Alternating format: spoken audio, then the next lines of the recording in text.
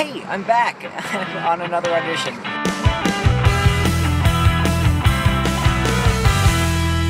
In the script that I have for the audition, there's a line about are they here? They're coming over, but it never explains who they are or how the characters feel about them.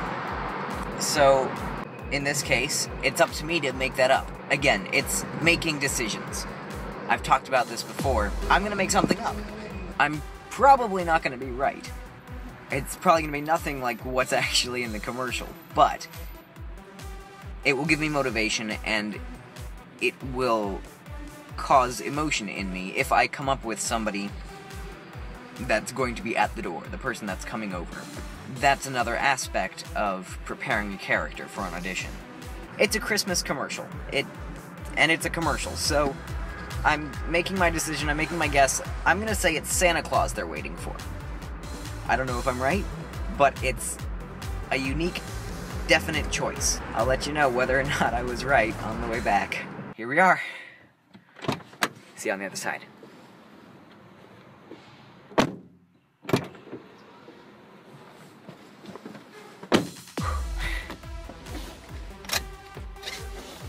Ah, it's over. This one is. Not, acting's never over. Ever. Leaving the audition again. I'm feeling pretty good, but I've said that about my last two auditions, and I haven't heard back from those. So. Which is also something to keep in mind. If you think you did a really bad audition, I'd say once I, I ta- I'll talk to you once the sun gets out of the way, so I can so my face doesn't look all distorted and shiny, like I have a glowing beard. Um. Oh boy. Hmm, audition. At least nothing. Hmm. Sit down low and tip this down that way? And so, wow, just half my face is lit. This just isn't working. So, new vantage point because the sun. It's the sun's fault. I've heard that before. There were actually three people, three of us in the room, including me. Um, and they split up the lines between three of the auditioners. That's a word.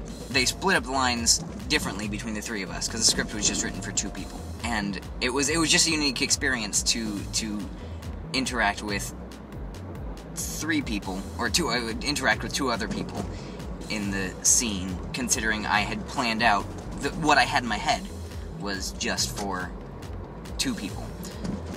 Now that didn't really change much how I performed, except for the you know changing changing focus.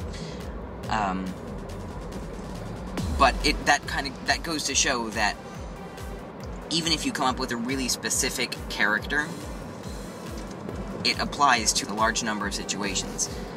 I didn't expect for there to be three three people in that room, but the character I had developed and the situation I had developed wasn't it it it still fit. It didn't no longer apply to the audition. I'd say 90% maybe 80% of the jobs that I've actually been cast for I felt relatively uncomfortable, un, unconfident about the audition. Um, I don't know if that's just me, but a lot of the time when I when I walk out of an audition room and go, eh, well, that was okay, that's the one that gets the role. Um, now that and that's not every time. And that's also not to say that every time you walk out of an audition and go, that was okay, you're gonna get the part, because that's not true. I think the statistic is uh, every 30 auditions you go on, 30, 30, every, every, for every 30 auditions you go on, you will be cast in one. That's about the average, I believe. That's meant as an encouragement. If you if you're not super excited about how the audition turned out, don't give up. So all in all, be prepared for the situation in an audition to change. You an audition and even even a job itself is never set in stone until you've until you're totally done with it. You never know what's going to happen in the audition until you've walked out of the room. Um, and same with same with a film or a commercial. You never know. You, even after you, even sometimes after you filmed it, you don't know if it if you're done with it yet. If it's actually going to go to air. If there are pickups that need to be done. Um, there was a commercial I did once where I was cast, and I and we, we filmed it. We we did the entire thing. We got paid for the day. Uh, so we, we finished and, and we filmed it, and we thought we were done. And a, a month or so later, we got a call from the same people saying, "Hey, can you come do this again?" Essentially. Um, so I went back, and there was I was the only person who was the same. I w- there everyone else, cast and crew, was different. I came back and filmed it, and that was the one that actually ended up being aired. Uh, you can check it out right here. Um, but that just goes to show you never know whether or not a pro you've actually done it until you're watching the finished product. And even in some cases, then it's it's not it's not done.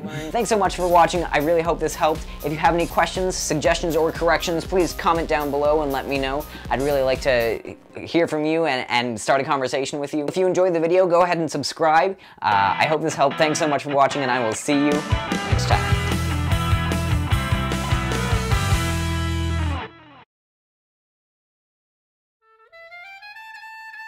We go. I figured it out. Sort of. That'll work decently for now. Um, lost my train of thought. Do you remember what I was saying? Rats.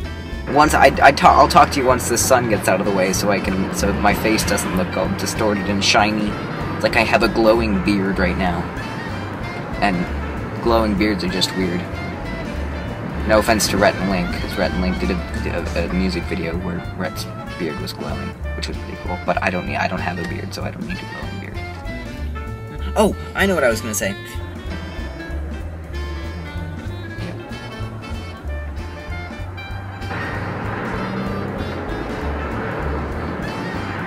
There's not gonna be much shade for a while, is there?